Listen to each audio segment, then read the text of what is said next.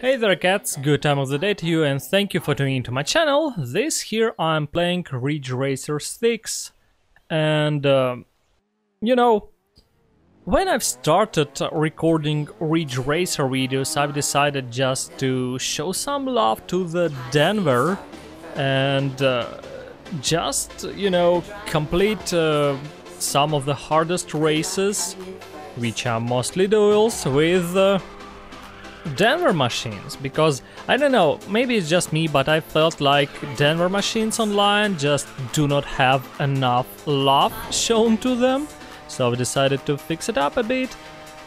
Uh, but then the requests came and I followed them, and uh, after that I've decided to make that simple hack in Ridge Racer PSP titles, which allowed me to take Bayonet into the races which are reserved for the higher class than the bayonet is. Uh, all in all, all I want to say is that I didn't really plan to make that much Ridge Racer videos, especially that much Ridge Racer videos featuring Danver Bayonet, because Bayonet is probably uh, the Danver which I like the least. But as you can see, or at least as you can uh, imagine, given the things I've just said. I now have a lot of videos with uh, Ridge Racer, from Ridge Racer, especially a lot of videos featuring bayonets. And uh, therefore I've decided I should record a video which um, uh, is not a request, which is something I want to have, featuring a Ridge Racer 6 Class 1 bayonet, because this is probably my favorite bayonet out there. Yeah, simple Class 1, unmodified bayonet, this is what I like. And um, therefore I've decided to make a simple hack similar to the one which I've did on PSP titles, which would allow me to bring a Class 1 car into a Class 2 race. As you can see, I've managed to do it. Um, about my methods, well, first things first, I've tried to do it the same way I've uh, did it on PSP uh, and in Ridge Racer 5 by swapping the ID of the car. That didn't fly for some reason, I'm not sure why. I didn't push the issue, instead I've tried another approach and swapped the class I'm in. So, uh, I mean, I choose the race which uh, say class 2 race and then I simply swap a 1 byte that with the value 2 in the code to the value 1 and the game promptly and quite correctly transfers me to class 1 allowing me to choose in game the car I want. It is probably even more comfortable than actually choosing the ID because IDs of the cars can be somewhat obscure and classes there from 1 to 5 and then you're simply choosing the car via the menu, quite comfortable, yes. And I've started with duel races, as you can see right here. In fact, I've quite quickly understood that I have no chance winning any duel race with the class 1 car. Uh, well, actually there may be a slim really fucking chance that I will able be able to win, uh, legally a duel race with a class 1 car. Uh, I mean, class 2 duel race, of course, but I didn't want myself another 7 hour night of hell. I just wanted to have some fun. Let's just take a look at this finish right now. That guy was close, or at least I felt like it, he was close, and I really want to see how close he actually was. Just look at that. Yeah, he looks actually quite close. Oh man. Oh, well, maybe not that close. There was actually about a body of the car between us. I felt like that was a little bit more closer finish, a little bit more tight finish, but that stop frame, yeah. So yeah, as you can see, I've actually resorted to using a Nitros cheat as well. I've hacked my Nitros. Well, actually not I, uh, the Nitros hack I've just found online and it worked quite fine.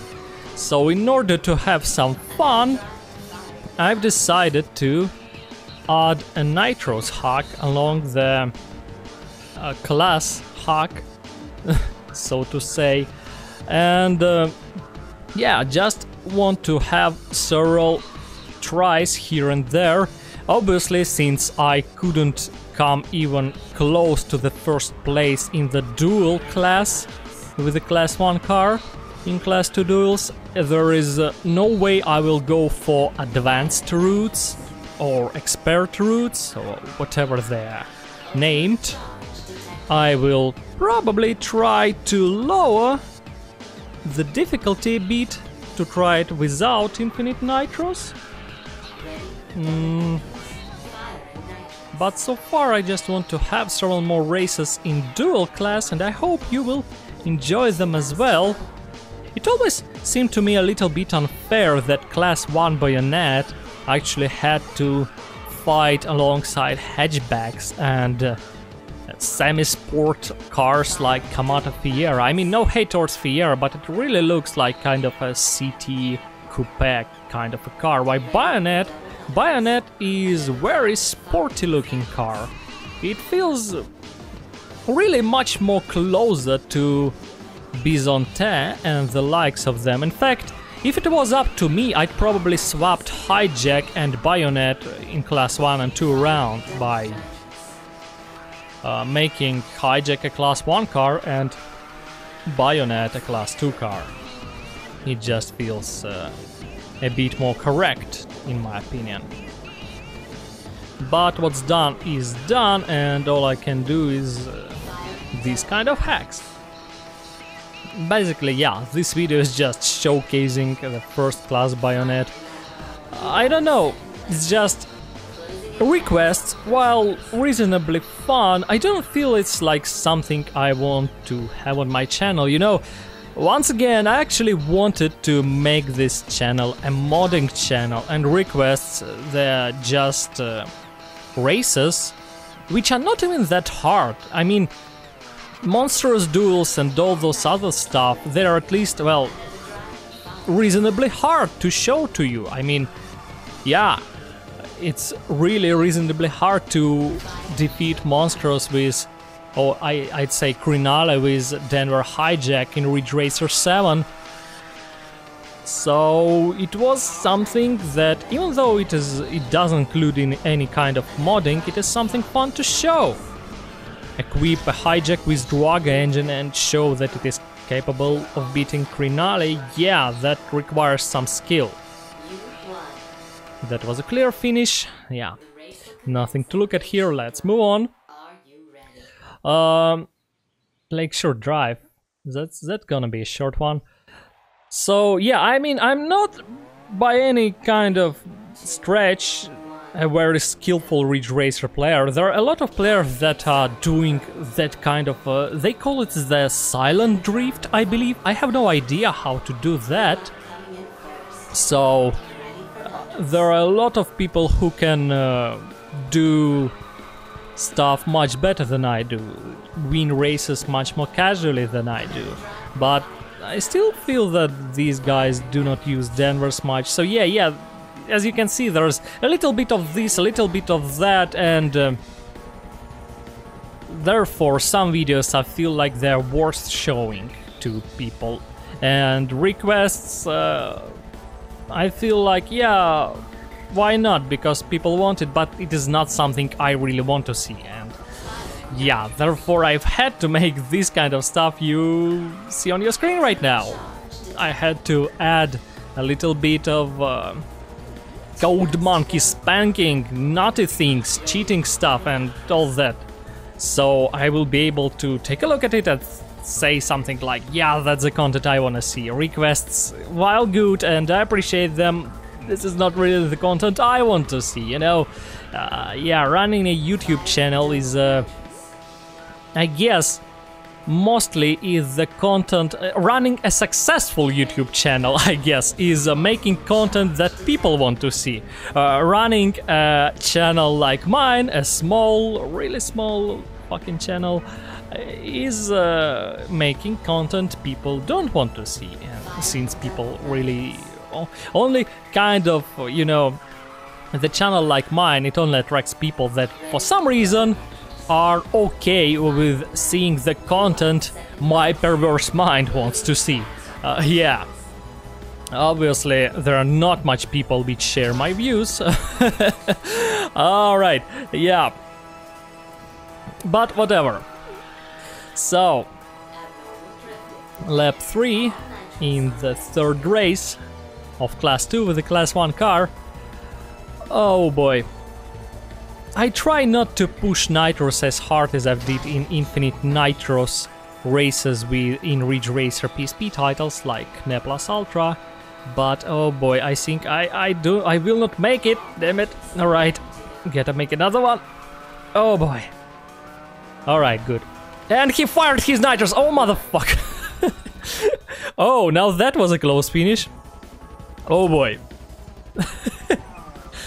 yeah, I, I a little kinda went a little bit soft and thought I will have enough nitros but I really did not. And he fires his nitros just look at that. He really fired his nitros boy that was good one. Nose to nose.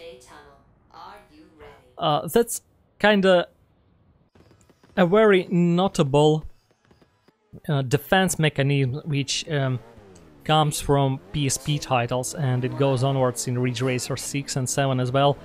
Um, if you fire your nitros near the car you duel with uh, in, in, like uh, somewhat immediate vicinity, unless it is in cooldown period in, from firing another nitros, said car will most definitely fire nitros as well. Uh, it's the kind of defense mechanism of the AI races of your opponents. Yeah, if you like fire nitros side by side with them or right in front of them, you know, you have not to be very far behind or very far ahead of them. Yeah, if you're just somewhat nearby, and as I said, if they are not in cooldown after firing another nitros, they will fire nitros as long as you will fire nitros. I mean, at the same moment you will fire yours. I'm not sure which exactly nitros they will fire. Uh, I think it is somewhat random, but I can see they prefer the single or double nitros. Um, and that's all I want to say, I guess. They will do it. It, it, it kind of seems a little bit unfair because you know they can fire triple nitros and you will fire triple nitros so you will be side by side with them. Then you will get uh,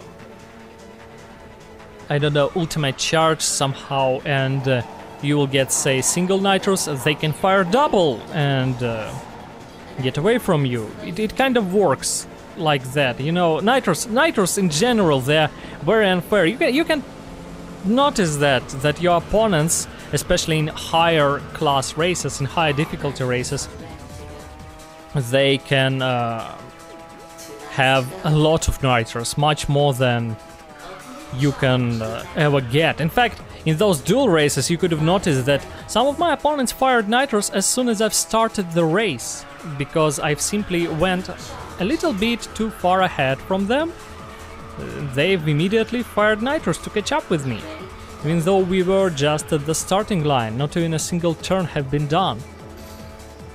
Oh boy. So, by this moment, by this race, I've actually tried um, Advanced Route, a single race, and a no nitros race. I've actually forgot the no nitros race in Ridge Racer 6 means that you will have no nitros. And your opponents will have nitros as usual.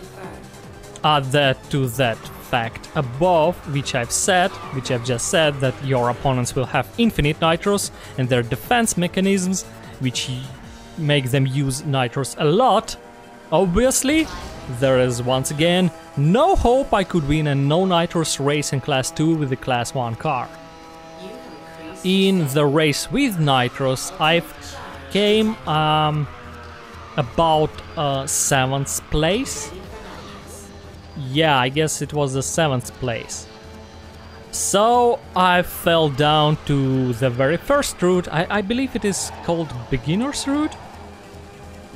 Uh, the name it is called is actually written in the start at the start of the race, but I've missed that completely. Pardon me. Either way, I fell down to this uh, very first route. Uh, yeah, I'm sorry I didn't show you any of the other tries I've just spoke about. I just really do not want to show you the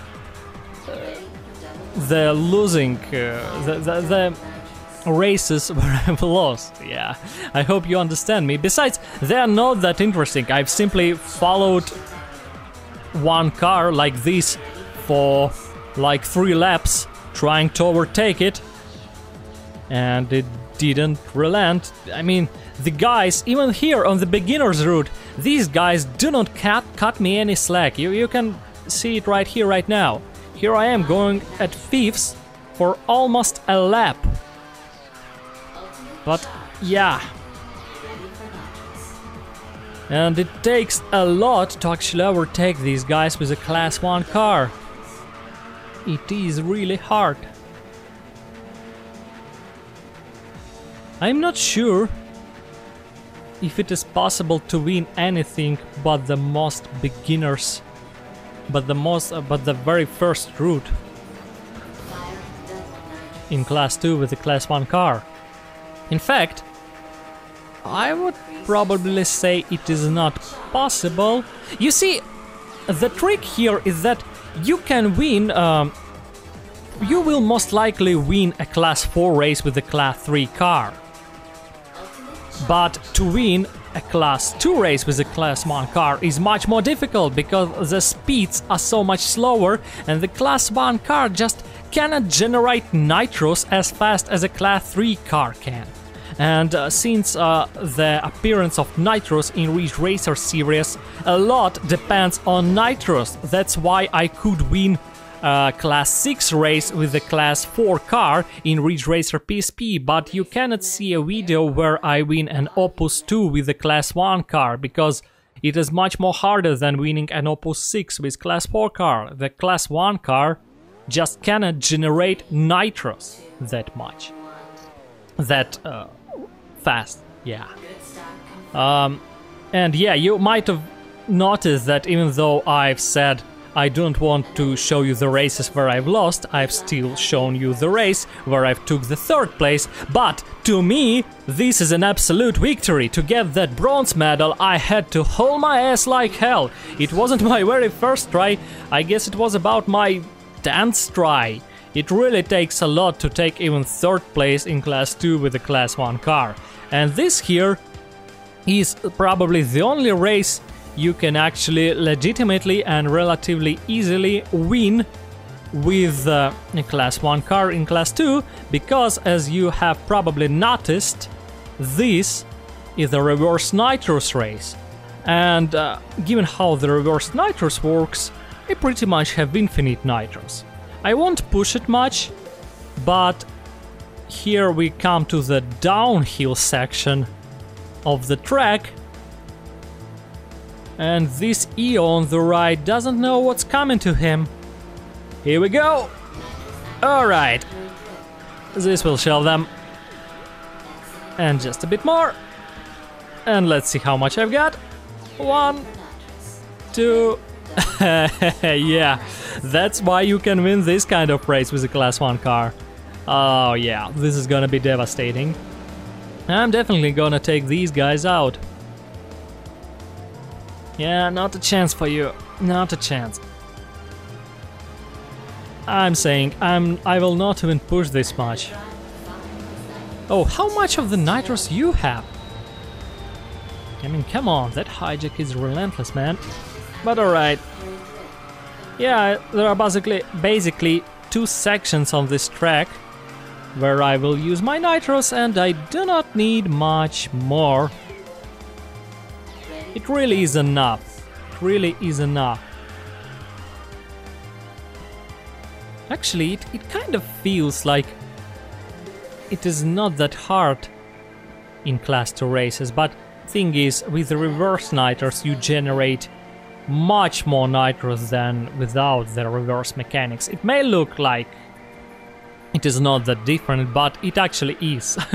it is especially noticeable towards the finish line, where you basically where you critically need at least uh, triple and double nitros in order to win, as was illustrated by my very last duel with EO. I fire triple and double, this is what it takes to catch up with the class 2 car. And uh, in other types of races you most likely, well, you are guaranteed, pretty much guaranteed that you will not get that much nitros with the class 1 car. After all, you can drive as good as you want in this kind of races, but it's the finish, the final uh, couple hundred meters before the finish line, which actually matters. And yeah, the reverse nitros uh, races are the type of the races where you can get that much nitros. The normal races, yeah, you will not get that much nitrous and therefore you will lose. Check out this side of mine, yeah. You aren't getting anything. Oh boy. Yeah, I can hear him, here he comes. Yeah, I, I'm pretty sure he will not give up, but hey, this won't get you the gold medal. Can you see me coming? Here I am, right here. It's a melt fire, right? Yeah, goes fast. You can see my car goes slightly to the left from time to time. This is because my gamepad, oh boy, he got lucky. I've accidentally rammed this guy. But alright. So yeah, my gamepad is a little bit broken, so when I turn to left, my stick doesn't quite return quite return to the zero position, don't mind if I do. Woo! Yeah, and therefore the car continues to turn a little bit to the left and unfortunately I do not have enough money for the new gamepad and I'm not sure if it is even fixable and how can I fix it? Oh boy. Alright, let's call it a day. Let's make it a victory for good. Yeah, like this. well, that was fun. Thanks for being with me, guys. Hope you enjoyed this kind of races. And uh, if I actually upload this uh, race how I wanted, to upload it. This is gonna be the last Ridge Racer video for a while. Pardon me, but I hope you liked it while it lasted. So, I guess more Ridge Racer will come eventually, but for now, something else, I hope equally good, will be on my channel. So, thanks for being with me, cats. Stay tuned for more. Good luck.